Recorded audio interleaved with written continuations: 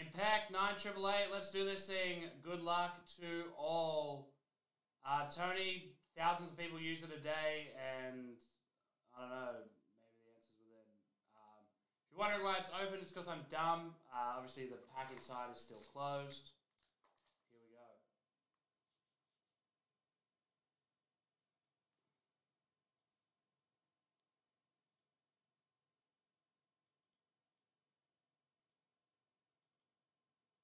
Five times. Let's do this thing. Good luck to all. I do that. It should stay. There we go.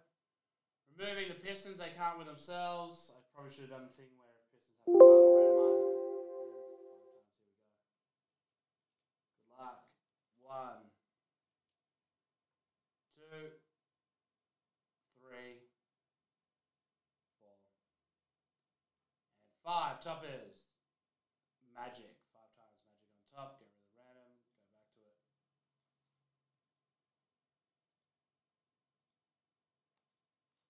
Magic are with Simon DeBritz. Congrats. Plus Pistons. Here we go. Good luck to all. Let's see something hectic.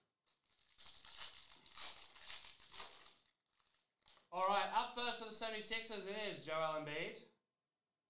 We then have for the Cavaliers a Darius Garland.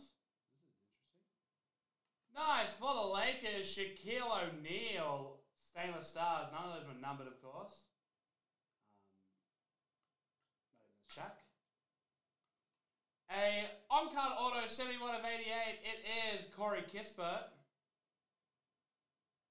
And then James Bouknight, 2 of 18. Short print.